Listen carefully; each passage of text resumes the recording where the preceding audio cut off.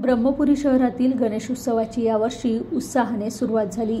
महाराष्ट्र विधानसभेचे विरोधी पक्षनेता विजय वडेट्टीवार यांनी ब्रह्मपुरीचा महाराज गणेशोत्सव मंडळाच्या माध्यमातून मागील वर्षीपासून सार्वजनिक गणेशोत्सवाची सुरुवात केली आहे. यावर्षी या मंडळाच्या वतीने अयोध्येच्या राम मंदिराची प्रतिकृती तयार करण्यात आली आहे. भाविकांना अयोध्येच्या राम मंदिराचे साक्षात दर्शन होणार आहे. मागील वर्षी या मंडळाच्या वतीने केदारनाथ मंदिराचा देखावा उभारण्यात आला होता. आज विरोधी पक्षनेते विजय वडेट्टीवार यांनी सहकुटुंब गणपतीची स्थापना केली. तसेच देखाव्यातील अयोध्येच्या राम मंदिरातील राममूर्तीचे पूजन देखील केले.